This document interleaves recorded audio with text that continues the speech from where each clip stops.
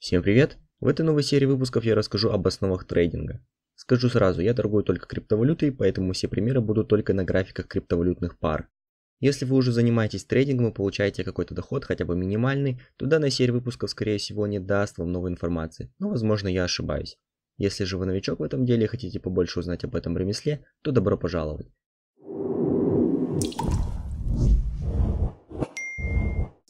В этом выпуске я расскажу вам, что такое цена, как она формируется и как отображается. Начнем с того, как цена формируется. Для этого поговорим о биржевом стакане. Вот так выглядит рабочее пространство биржи Binance. Биржевой стакан расположен вот здесь, слева от графика. Биржевой стакан – это список лимитных заявок на покупку или продажу от трейдеров, которые не хотят покупать или продавать по текущей рыночной цене, а хотят купить дешевле или продать дороже. В реальном времени стакан выглядит вот так. Это постоянно исполняющиеся заявки, которые сменяют новые. Поэтому для удобства рассмотрим статичную картинку. В середине стакана расположены заявки с ценами наиболее близкими к рыночной цене. Например, в данном случае рыночная цена за один биткоин 10 587 долларов и 20 центов, а в стакане лучшая цена от продавцов 10 589 долларов и 2 цента, лучшая цена от покупателей 10 586 долларов и 54 цента. То есть текущая рыночная цена располагается между этими ценами. Тут возможно возникает небольшая путаница, как купить или продать по рыночной цене, если ее нет в стакане. Но все дело в том, что эти наиболее выгодные заявки на покупку и продажу и формируют будущую рыночную цену а рыночная цена, которая указана на графике в данный момент, это результат предыдущих сделок по наиболее выгодным заявкам. То есть цена на графике 10 587 долларов и 20 центов отражалась некоторое мгновение назад в заявке в стакане, которую удовлетворили. Тут и кроется механизм формирования цены на рынке. В данном случае, чтобы сделать цену за один биткоин равной 10 589 долларов и 1 цент, нужно купить 0.095 биткоинов за 1015 долларов. Если вы не хотите ждать лучшей цены за биткоин и хотите купить в данный момент, то вы должны выбрать под графиком вкладку Market и указать в этом окне только количество биткоинов. Ваша заявка сразу же исполнится по наилучшей цене на продажу и заявки в стакане, и сделка будет отображена в ленте сделок справа от графика. Если первой наилучшей заявки не хватило, то есть вы купили больше биткоинов, чем предлагал продавец, то будет задета и следующая в очереди заявка, и в ленте будет отображено несколько записей, так как цены вашей покупки будут различны. Если вы не хотите покупать биткоины в данный момент, то вы выбираете вкладку «Лимит», указываете цену и количество биткоинов. Купить можно только по цене ниже рыночной, продать по цене выше рыночной. Кстати, стоит отметить, что лучшую цену на продажу называют ASK, а на покупку BIT. То есть получается наоборот, но это в том плане, что вы создаете спрос или предложение на рынке, когда удовлетворяете эти заявки, совершая сделку по рынку. То есть когда вы покупаете по наилучшей цене ASK у продавца или когда продаете по наилучшей цене BIT покупателю. Разница между ASK и BIT в текущий момент времени называется спредом. В нашем случае спред равен 2 долларам 49 центам или 249 пунктам. Разница в процентах 0,02%, что соответствует хорошей ликвидности рынка. Так, тут сразу же залетело несколько терминов, давайте по порядку. Пункт или тик – это наименьший возможный шаг цены. По заявкам в стакане видно, что цена биткоина имеет два числа после запятой. То есть один пункт – это 1 цент. Ликвидность – это свойство актива быть быстро проданным по цене близкой к рыночной. То есть, если вы купили биткоин и сразу же захотели его продать, вы можете сделать это практически по той же цене, если не будете медлить. Вот, например, график криптовалюты эфир. Ровный график с небольшим количеством разрывов. А вот график криптовалюты соль. Сразу же бросается в глаза рваность графика. То есть соль менее ликвидна, чем эфир. Торговать нужно только хорошо ликвидные активы, не создавайте себе лишних проблем. Низкая ликвидность обусловлена отсутствием лимитных продавцов или покупателей, их еще называют маркетмейкеры. То есть на каких-то ценовых уровнях вам просто некому продать свой актив или не у кого его купить. Из-за этого сделка совершается в каких-то отдаленных от текущей рыночной цены точках и образуются вот такие разрывы или как их еще называют гэпы. Гэпы часто появляются при открытии бирж, с криптой такое не работает, так как криптовалютные биржи круглосуточные. Но вот вам один пример со схожим механизмом. Биржа Binance закрылась по техническим причинам и обновляет свою систему. Тем временем другие биржи работают, и цена, например, на биткоин продолжает расти, в то время как на бирже Binance цена на биткоин стоит на месте. Вопрос, захотят ли продавцы после открытия биржи Binance продавать биткоины по какой-то цене близкой к цене на момент закрытия биржи. если на других биржах цена на биткоин успела сильно вырасти? Ответ скорее всего нет, не захотят. Они будут стараться продать биткоины по ценам близким к ценам на других биржах. Соответственно, покупателям придется заплатить за биткоины больше и произойдет ценовой разрыв. На самом деле гэпы появляются всегда. Чтобы гэпов не было, все заявки должны располагаться с шагом в один пункт или цена должна побывать в каждом пункте. Просто гэпы не учитываются при формировании таймфрейма. Они учитываются лишь при переходе к следующему таймфрейму, где их и можно увидеть в виде маленьких или больших разрывов цены. Итак, гэп это разница между ценой закрытия предыдущего таймфрейма и ценой открытия следующего. И таким образом мы плавно подобрались к графическому отображению цены, но хотелось бы подытожить сказанное. Каждая цена это соглашение о ценности, достигнутое всеми трейдерами в данный момент времени. Она показывает их сиюминутную оценку рынка. Каждый трейдер может выразить свое, пусть малозначимое, но мнение, отдав приказ о покупке или продаже, или отказавшись торговать в данный момент. А теперь рассмотрим существующие сегодня способы графического отображения цены.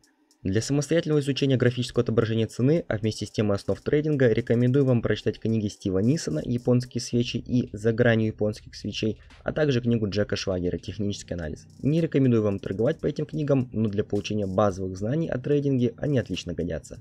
Итак, приступим к рассмотрению графиков. Что такое таймфрейм? Таймфрейм – это временной интервал, в течение которого цена изменяется только вертикально. На платформе TradingView по дефолту доступны такие таймфреймы в секундах 1, 5, 15, 30, в минутах 1, 3, 5, 15, 30, 45, в часах 1, 2, 3, 4, также есть день, неделя и месяц. Минимальный бесплатный таймфрейм 1 минута, а дальше вы можете сделать любой другой таймфрейм, отличный от базовых, если у вас есть платная подписка, или даже использовать секундные.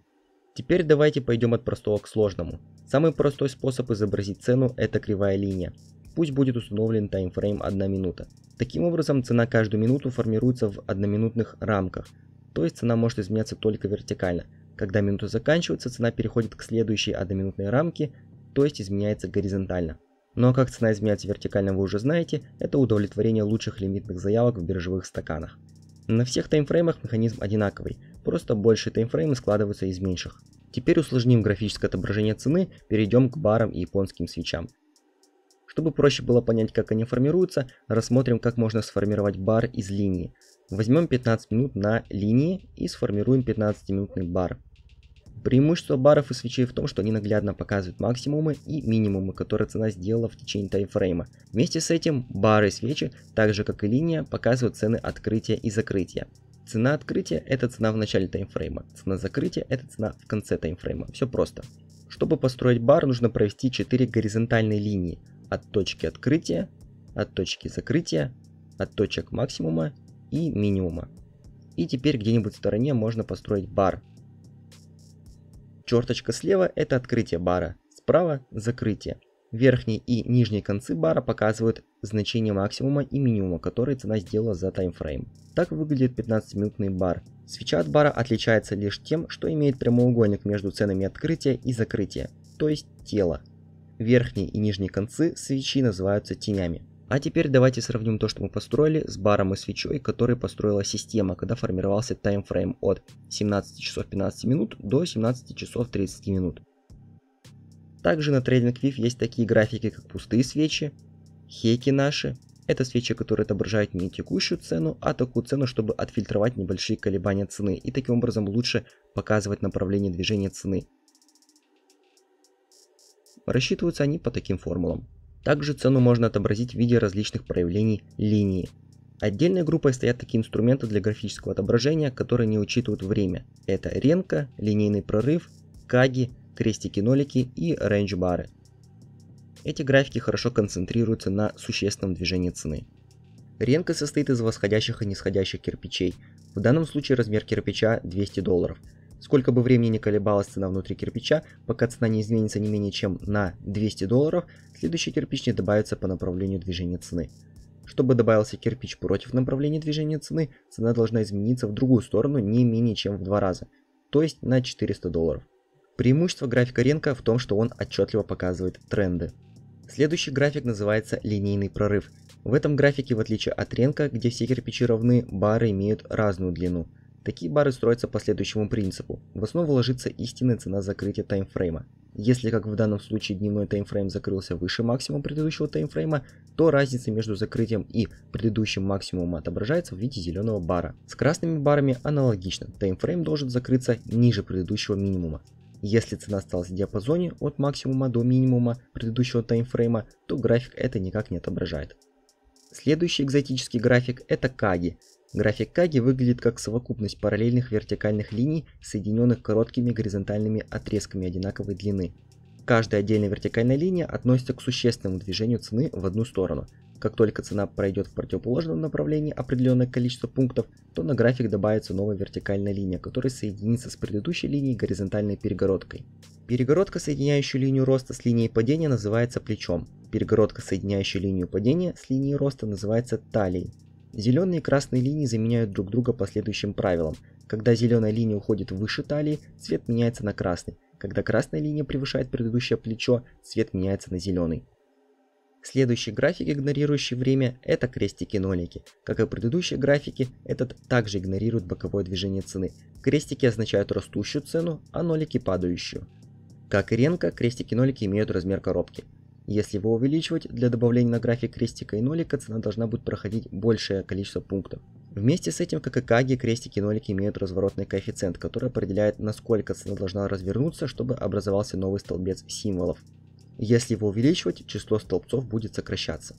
И последний график в нашем списке это range бары. Такой график строится следующим образом. У range бара есть цена открытия. Во время формирования бара ведется учет величины колебания цены. В это время от точки открытия растет тело бара. Величина бара от минимума до максимума ограничена заданным интервалом range. Он измеряется в пунктах. В данном случае я выбрал интервал в 1000 пунктов, то есть 10 долларов. Это означает, что как только размер бара от минимума до максимума становится равен 10 долларам, рост бара прекращается. При этом, если цена колеблется в пределах бара, изменяется отметка его закрытия. Но если цена выходит за пределы бара, то он закрывается и начинает формироваться следующий бар. Итак, в этом выпуске вы узнали самые основы, как цена формируется на рынке и как отображается. Хочу еще добавить, что изучение трейдинга это трудоемкий процесс, вам обязательно нужно читать книги. В этом выпуске я уже порекомендовал вам несколько книг для старта. Джек Швагер «Технический анализ» и Стив Нисон «Японские свечи», а также его вторая книга «За гранью японских свечей». А на этом все, всем удачных сделок и увидимся в следующих выпусках.